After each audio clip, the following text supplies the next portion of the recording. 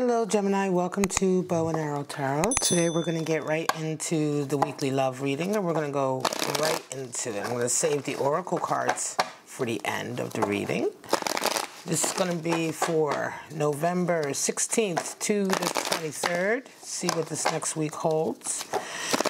And this is a reading into a connection that you have with someone, Gemini. So it could be a new connection, old connection, reconciliation, whatever the case is. We're going to take a look at it.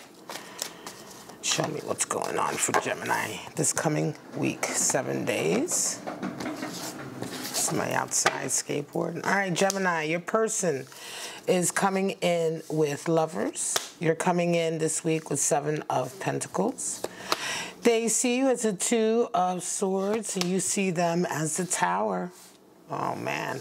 They desire six of wands. You desire the star. And what needs to happen for them is page energy, and for you, nine of pentacles. So bottom of the deck, we have the justice card, number 11. All right, justice energy. Justice oftentimes comes in when you're actually dealing with um, certainly it's all about rebalancing, coming in and, and uh, a writing, right, of an unbalanced situation. But a lot of times, justice card will come out when you're dealing with actual court cases, documents, official sort of entities. So let's get into it, Gemini. Your person is coming into the week with lovers, and you are doing Seven of Pentacles. So for them, um, it's all about the love connection with you, right? There's some give and take. It's very emotional this week, um, but it's all geared towards harmony for them, right? They're taking really uh, a hard look. This could, and with the justice here, this could involve them dealing with some kind of official business to do with marriage, divorce, separation, whatever the case may be. I'm going to see how, how we see this play out as we go on. Um, but for them, the institution of marriage, lovers, that, that consecrated bond is what's on their mind this week. Now, for you, Seven of Pentacles, you're really going to be busy this week, Gemini, if you're resonating with this reading, dealing with your finances and dealing with um, the work you do and how satisfied you are with that, right? So Seven of Pentacles is all about really reevaluating what it is you do with your life, with your time, where you put your effort in. Certainly when we're talking about career or business, right? Um, are you putting the effort in where you need to? Um, are you getting the returns back that you're expecting? You know, you've tilled this garden so much and these are the returns. So this is the thing, Gemini. This week you're busy with your career or your business and really evaluating where you are with that, how happy you are with that, while your person is very much thinking about the love connection. Now, how do you guys see each other? This is interesting where we get into your person is seeing you as two of swords and you're seeing them as the tower. So again, I almost wonder, once again, is there some kind of divorce or some kind of separation happening here for one of you? Because um, your person is seeing you as two of swords. So they're seeing that you are in a place where you're not willing or able to make a certain decision, right? Two of Swords, it's like you're trying to find your own balance, but a lot of times this is the card for, you know, the land of indecision. For somebody to see you as Two of Swords, it can indicate that a lot of times it may be that they're the ones who's put a particular uh, decision on you or option. They've given you an option, maybe even an ultimatum or something like that, and you're just not responding, right? You're not responding necessarily with the decision that they want you to have. You may not be making a decision at all, right? Um, and so it's interesting, you're also dealing with your work. So it could be that this work issue, this uh, livelihood issue is one of the reasons why you are not really you know, deciding either here or there for any one particular option, right? But you're seeing them as a tower and they're going through a lot right now, right? So it's interesting. It can be that for them, you know, a lot is happening. A lot is like being torn asunder, right? Their world is really changing in a very fundamental way. And I almost wonder, like I say, it could be you're dealing with somebody who is going through a divorce or some kind of separation, or they may be going through something heavy in their life to do with the love connection, but they're really looking to you to make a certain decision as well. Certainly with justice at the bottom of the deck, it feels like this could be coming in for you, Gemini, this week.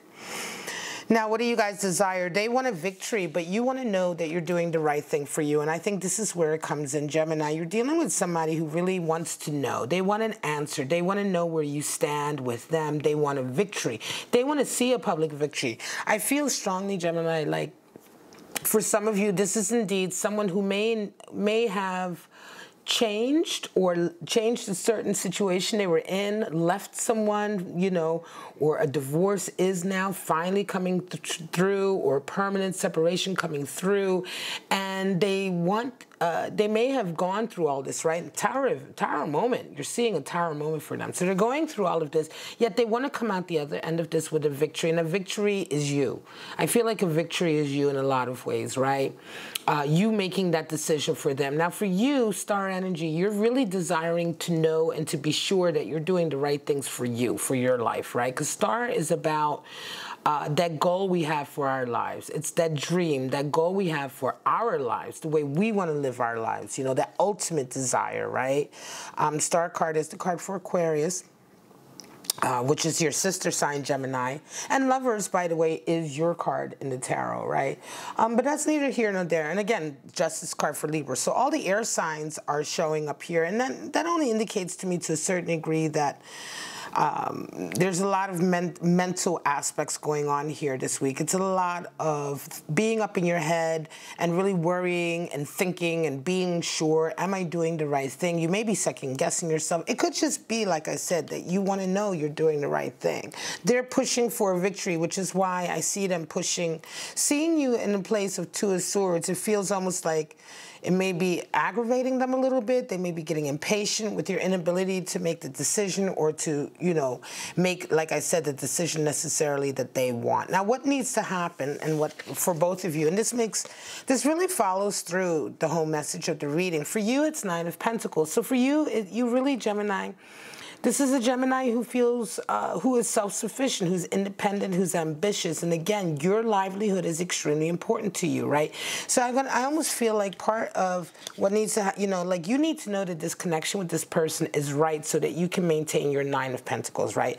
Nine of Pentacles is somebody who, you know they are so ambitious they are so their their career and their goals are so important to them that they will sacrifice uh, relationships and friendships and connections with others to achieve their goals. This is somebody who's very, very steadfast, right?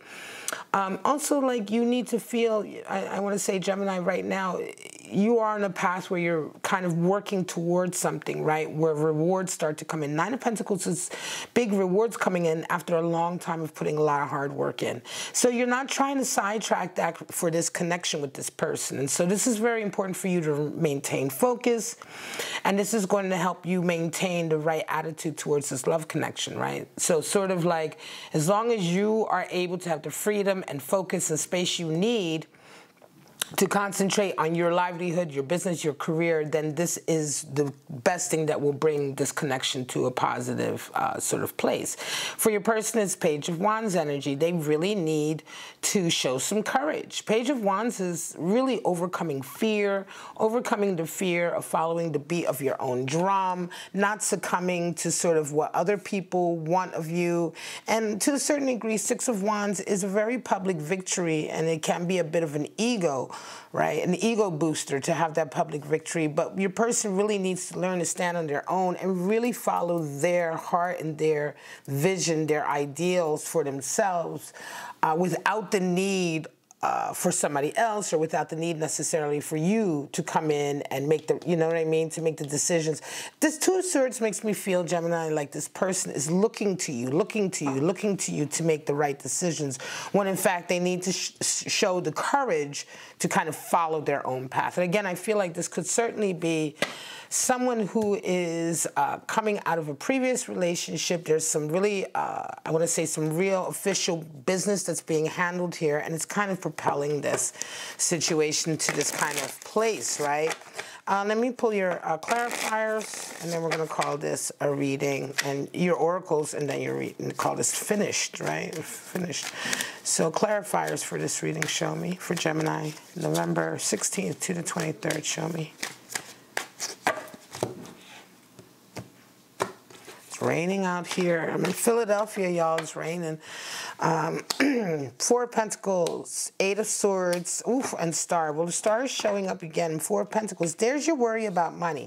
So money is a real issue. And again, you want to wonder, like this person as well, I, I don't know, you know, it could be something to do with this justice, maybe this official issue that they got to go through. Again, it feels like a divorce separation. Before Pentacles is an issue here for you. So this is like, you know, worrying over stability and finances and making sure that everything that you've worked for, that's that that that power base that you've worked for, you're able to hold on to.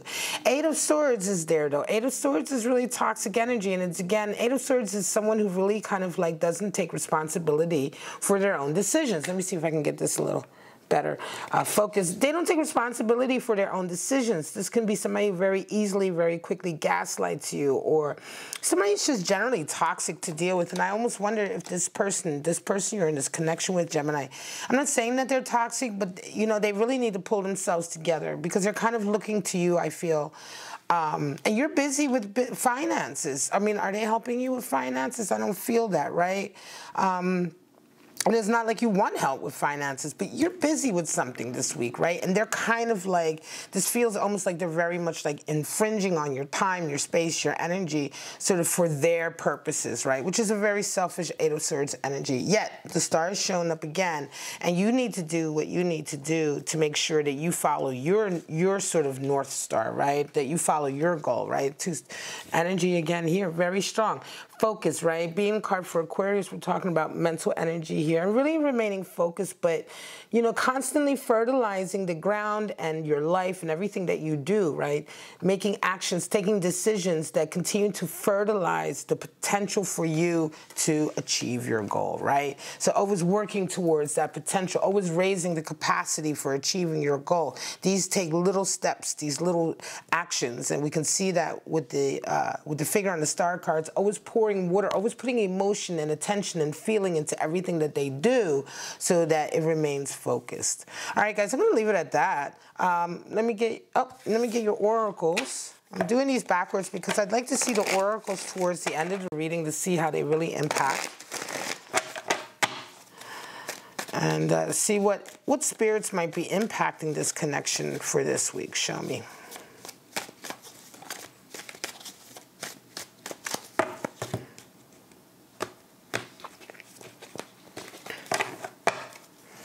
So we have Spirit of Hecate, Spirit of the Crystal Ball, and Spirit of the Flock. So there you have it. Crossroads, right?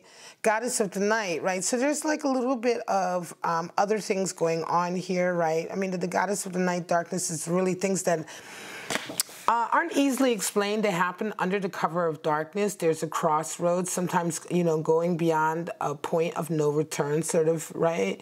Um, Spirit of the crystal ball, right? It's the, I, I want to say here as well, you're doing a lot of that with that star energy, really trying to look to the future. Like, is this connection really what I want? Like, what's this going to pan out to? And really very much, I think, this week, trying to look ahead and see, well, you know, uh, you know, how is this going to play out?